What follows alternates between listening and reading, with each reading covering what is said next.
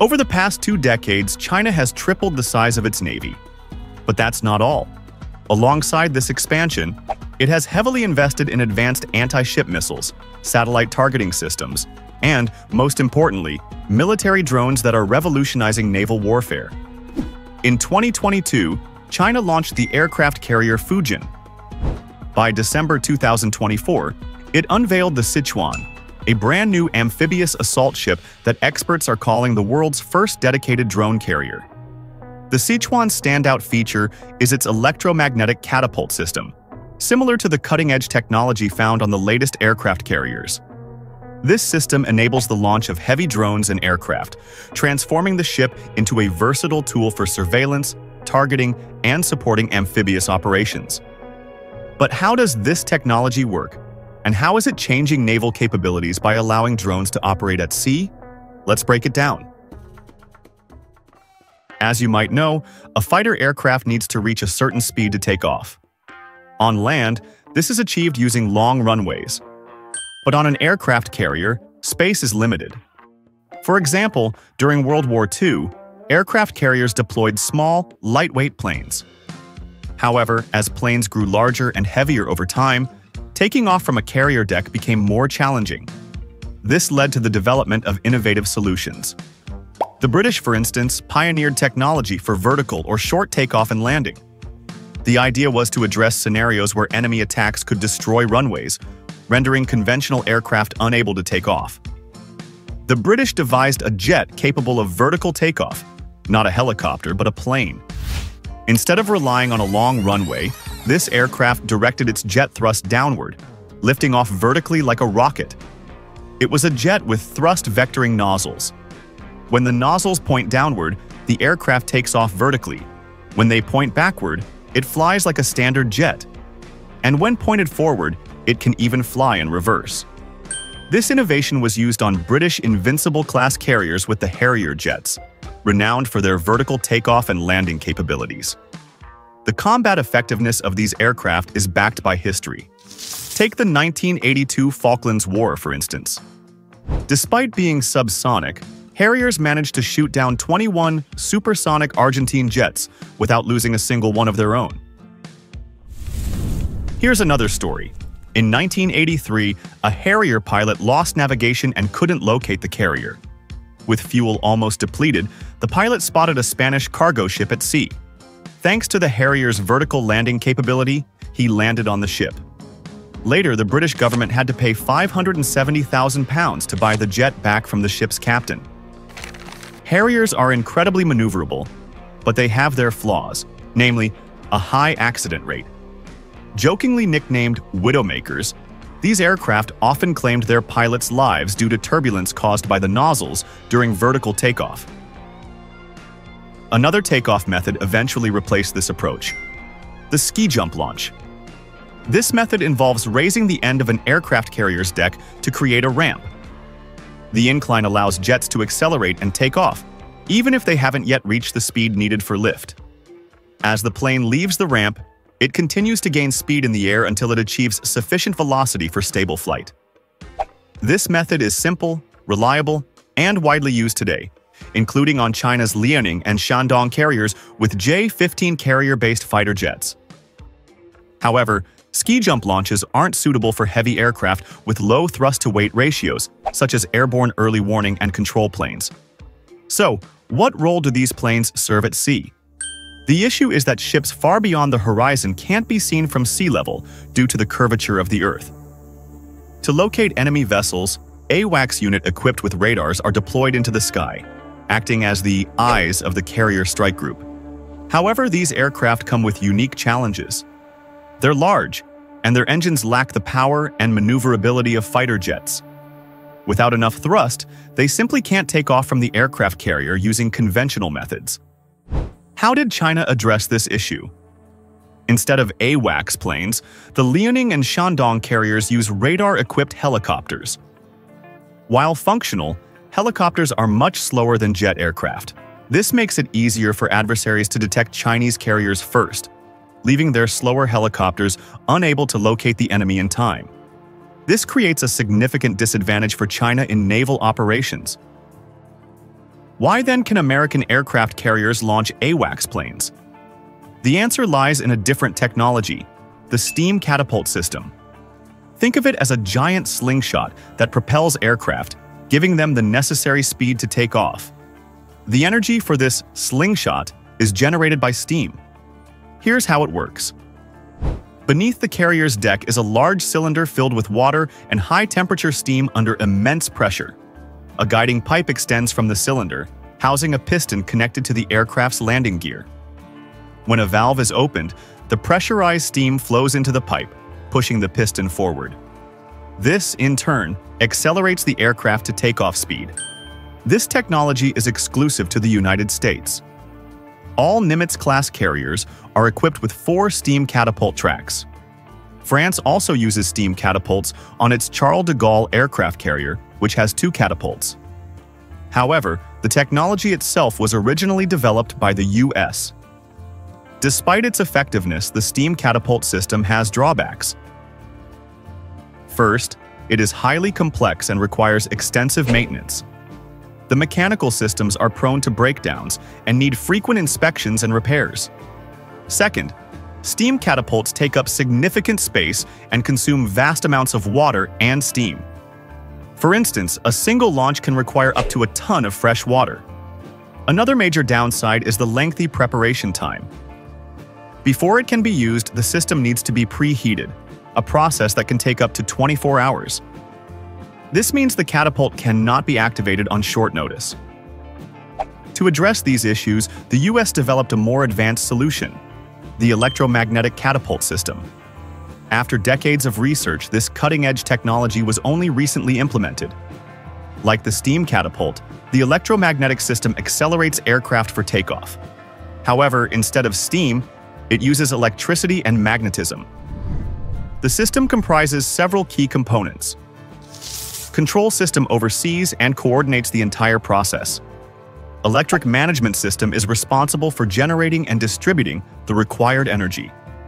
And finally, Energy Storage System stores a large amount of energy and releases it in a single powerful pulse to launch the aircraft. The core of the launch mechanism is a linear motor. Unlike traditional motors, which rotate when powered, linear motors move in a straight line, this design enables the efficient and rapid acceleration of aircraft, offering significant advantages over older methods. Let me give you a simple analogy. Think about how a toilet flush works. You don't use water directly from the pipe. It wouldn't be effective. Instead, water is stored in a tank. When you press the flush button, all the stored water is released at once, creating a powerful flow to clear everything. The same concept applies here. The electromagnetic system stores energy and then releases it in a sudden, intense burst to launch an aircraft. To date, only two countries have mastered electromagnetic catapult technology, the US and China. The US uses it on its Ford-class carriers, while China has equipped its Fujian aircraft carrier and Sichuan amphibious assault ship with similar systems. Let's delve into the operation of these systems, starting with the ship's power supply. While this can be a complex topic, we'll focus on the key points. In China, a major contributor to this field is the renowned academic Ma Wei-ming, who proposed the concept of an integrated electric power system for ships. This system consolidates all of a ship's energy needs, propulsion, catapult operations, weapon systems, and other tasks, into one unified system. For instance, if more energy is required for propulsion, it's redistributed to the engines. If a catapult launch is needed, energy is rerouted there. This integrated approach optimizes energy management and significantly enhances the ship's functionality. Now let's explore energy storage systems. How exactly do they work? While specifics about the Fujian's technology haven't been disclosed, we can look at the method used by the US, which relies on flywheels. What's a flywheel? Simply put, it's a heavy wheel that stores energy by spinning. Inside the ship, there are numerous flywheels, each weighing several tons. When the catapult isn't in use, the ship's power system directs electricity to spin these flywheels. Gradually, their rotational speed increases, reaching an impressive 6,400 revolutions per minute, in just 45 seconds. Due to their large mass and high speed, the flywheels store a significant amount of kinetic energy. When it's time to launch an aircraft, this stored kinetic energy is converted into electrical energy and transferred to the catapult to power it. How much energy does this generate? Approximately 121 megajoules, which is equivalent to 33 kilowatt hours. That might not sound like a lot, but the key is that this energy is released in just 2 to 3 seconds, producing around 60 megawatts of power. This immense power is more than enough to launch an aircraft using a linear motor. So, how does a linear motor work? There are several designs and I'll briefly explain two of them. One of the simplest designs is a linear motor with guide rails. Here's how it works. You have a power source, such as a battery, two rails, and a metal conductor capable of carrying electrical current. This conductor can move freely along the rails. When an electric current flows through the conductor, it generates a magnetic field. According to the right-hand rule, a magnetic field forms around the conductor. The interaction of this magnetic field with the conductor produces a force known as the Ampere's force. This force propels the conductor forward, moving it along the rails. This is how the linear motor creates the motion needed to accelerate the aircraft. The force generated by a linear motor is proportional to the square of the current. To achieve greater speed or power, the system requires a very strong current. However, this approach has its drawbacks. High current can damage the rails, reduce energy efficiency, and limit overall performance. Additionally, this method functions like a single-phase motor, which restricts its capabilities. To overcome these limitations, modern systems use a coil-based design instead of guide rails. This method is based on a rail with a series of metal posts wrapped in coils of wire.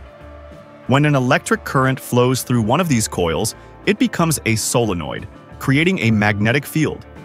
One side of the solenoid becomes a north pole, and the other side becomes a south pole. Now imagine a movable block connected to the aircraft. This block has a permanent magnet with a north and south pole. When the north pole of the coil meets the south pole of the magnet, they attract each other. The same happens with the other side, creating a force that pushes the block forward. As the block moves past the active coil, the current in that coil switches off, and the next coil turns on. This way, the magnetic field shifts along the rail, pulling the block forward and accelerating it.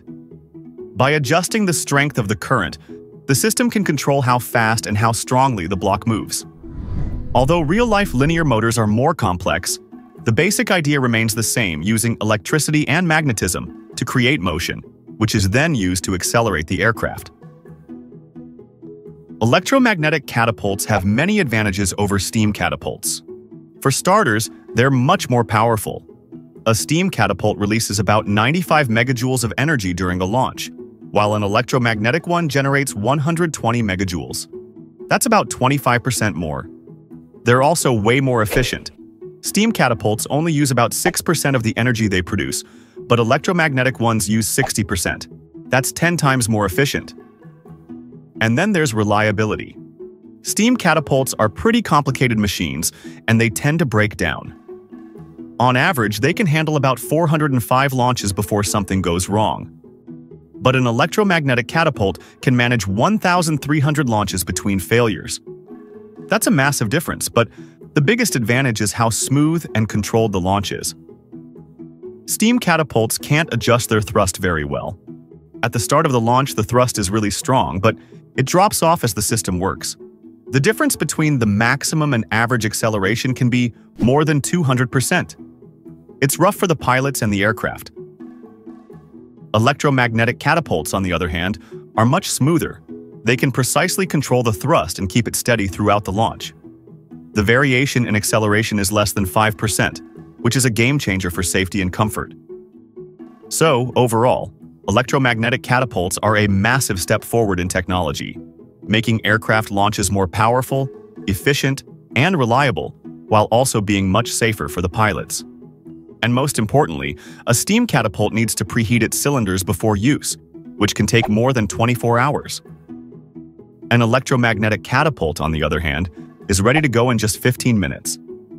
This is crucial in combat situations because being able to launch an aircraft earlier could be the key to winning a war.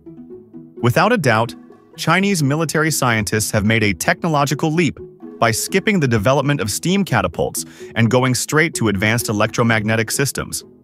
It's a brilliant achievement for China's military science. However, there's still a significant gap between the naval forces of China and the United States in terms of displacement, weaponry, carrier aviation, and propulsion systems. That said, China is focusing heavily on drones. Taiwanese military expert Zhang Yanting notes that maritime conditions, waves, wind direction, and wind speed often make it challenging to launch and recover drones. Their long wings increase the risks of operating them on aircraft carriers. However, the use of electromagnetic catapults significantly reduces these technical difficulties, enabling safe drone launches.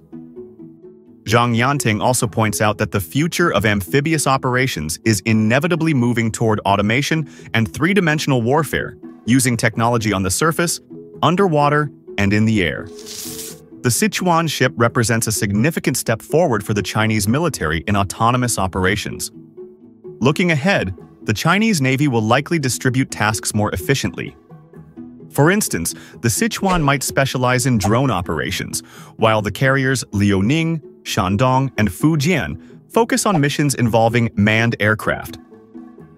This kind of specialization will enable more effective control of the seas and increase the chances of success in critical strategic battles, such as a potential conflict over Taiwan. As spectators, all we can do is grab some popcorn and watch the show unfold. Thanks for watching. If you enjoyed this video, don't forget to like, leave a comment, and subscribe to the channel. Thank you once again, and bye.